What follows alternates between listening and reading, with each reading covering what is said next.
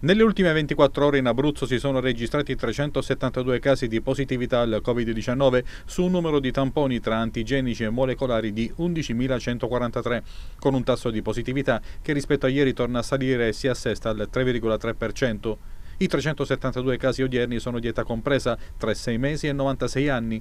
I positivi con età inferiore ai 19 anni sono 74, di cui 26 in provincia dell'Aquila, 17 in provincia di Pescara, 19 in provincia di Chieti e 12 in provincia di Teramo. Più in generale, circa la loro provenienza territoriale, si registra un aumento di 122 per la provincia dell'Aquila, 75 per quella di Chieti, 95 per quella di Pescara e 40 per quella di Teramo. Meno 1 i casi di fuori regione aumentano di 38 18 quelli per cui sono in corso verifiche sulla provenienza.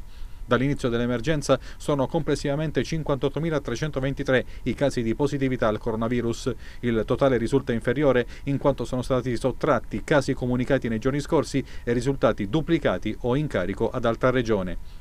10 i pazienti deceduti per Covid nelle ultime 24 ore di età compresa tra 63 e 96 anni, 5 in provincia di Chieti, 2 in provincia di Teramo, 3 in provincia di Pescara. In totale il bilancio sale a 1835. I dimessi guariti, sempre secondo l'ultimo bollettino, sono aumentati di 451 unità e sono in calo di 92 gli attualmente positivi.